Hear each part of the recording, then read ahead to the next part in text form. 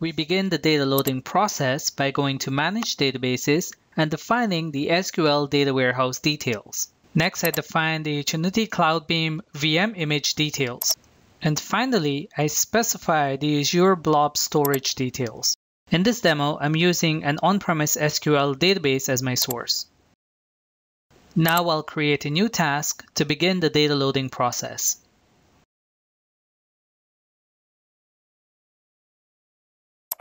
In the interface, I drag my SQL Server source and my SQL Data Warehouse target into the task settings.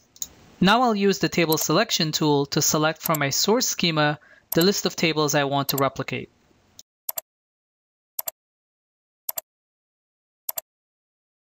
Finally, in my task settings, I define the schema name for my target metadata. Now I'll save the task and run it.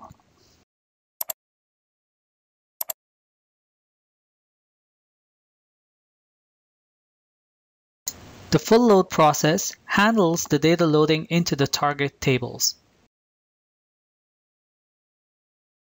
Once the full load process is completed, the task automatically switches into Change Data Capture mode. Let's make some changes to the source.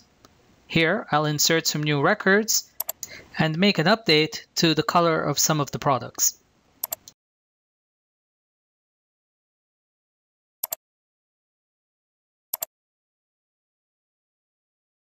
Switching back to the Attunity console, we now see that the inserts have been completed, and after a few seconds, the updates are also applied to the target.